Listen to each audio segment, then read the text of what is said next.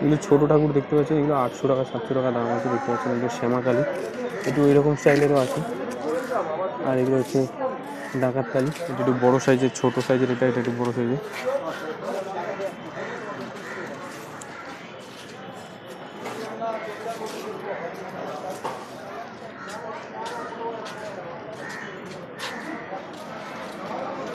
আপনার? ওইটা মনে হচ্ছে মালিক। এই সরেন।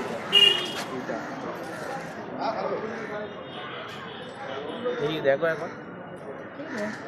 দেখো না।